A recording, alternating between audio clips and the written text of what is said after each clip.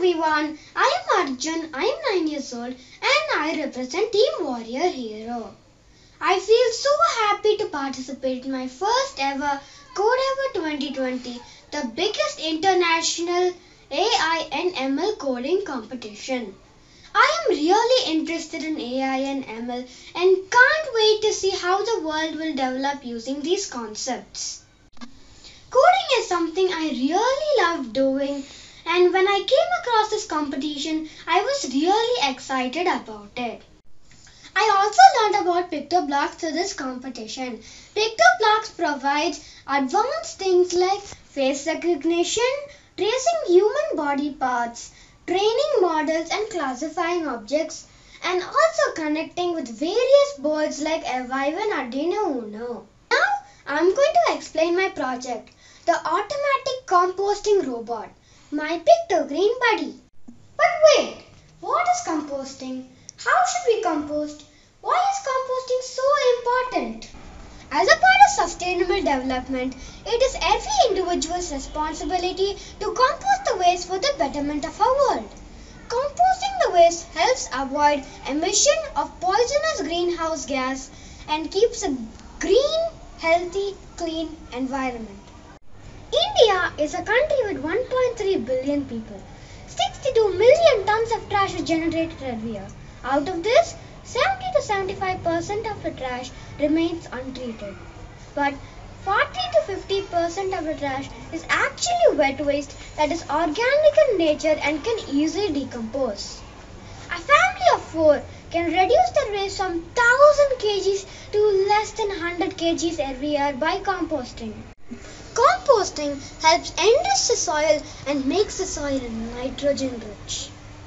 So this explains why composting is very important. But why do people not compost? Well, many people don't know how to compost and what to compost. Using PictoBlox, I have developed a robot, an automatic composting robot called Pictogreen Buddy. This helps in scanning your waste and tell if it can be composted or not. Once the waste is allowed inside, Pictogreen Buddy automatically covers the waste with a layer of soil or coco This helps in decomposing the waste. After this is done, your compost is ready in 15 to 45 days depending on the waste material you use. This robot is a prototype and can be fully enhanced to add all the features of an automatic compost machine using PictoBlox' features. Pictogreen Buddy is the magic wand to transform garbage into a beautiful green healthy garden. So now isn't it easy to compost your waste using Pictogreen Buddy?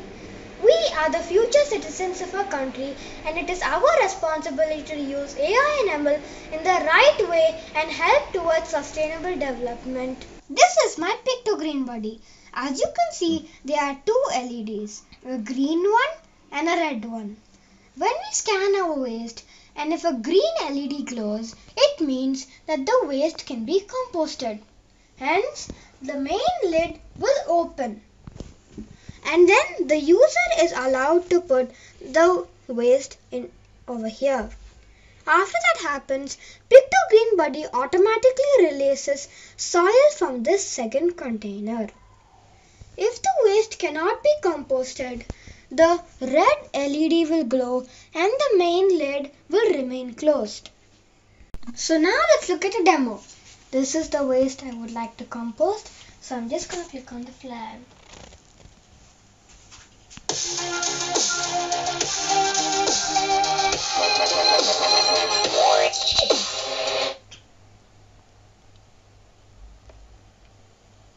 Hello, I am your Pictogreen buddy.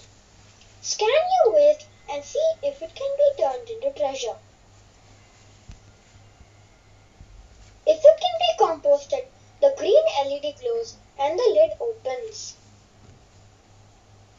If it cannot be composted, the red LED glows and the lid remains closed. So now we're going to I'm going to show the waste. Composting your green waste. Thank you now I'm going to put the waste to the side and after some time take the clean body automatically releases the soil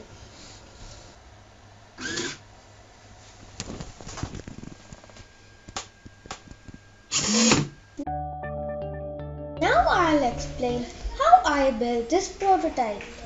As you can see there are two LEDs, a main lid and a second container lid.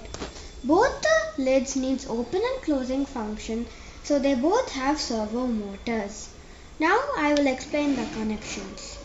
So this is the first servo shield, the second one is inside and both of them are connected to the servo sh- shield which is connected to the Arduino Uno. I have used two LEDs over here which come from the back and are connected to the 7 and 8 pin. I have used the extension as in connecting male and female wires to make the wire lengthy and reach over here. So now this is the code. As you can see over here, there are three sprites. The first one, which is Toby, does the all the main functions. The, the next one is the slide animation, which is the intro. And the second Toby is the one who comes and speaks and tells all the instructions. So now if we go to the main Toby, when we receive the start message, we are turning on the video and then we are setting the servo 11 on 70 angle. So basically this robo needs two servos. Uh, The servos are needed for opening and closing the lid. First we are setting the 11th servo. So the 11th servo is basically the main lid and that is 70 angle. 70's angle is always the 11th servo's closed position.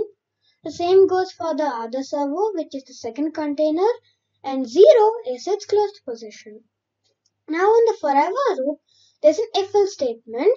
Over here we're telling if this is identified from webcam or what now can be composed in this.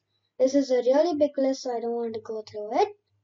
And if this is true, this particular ex- function executes. If it's false, this executes.